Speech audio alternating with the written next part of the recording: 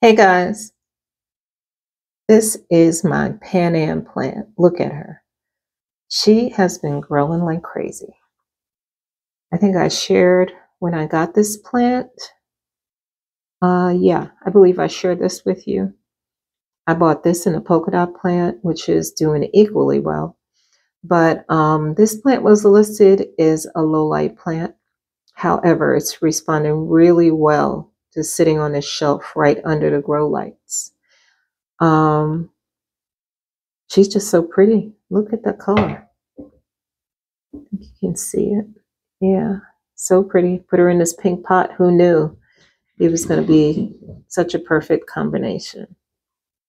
Anyway, just wanted to share. I highly recommend Pan Am Plant Pilea Involucrata.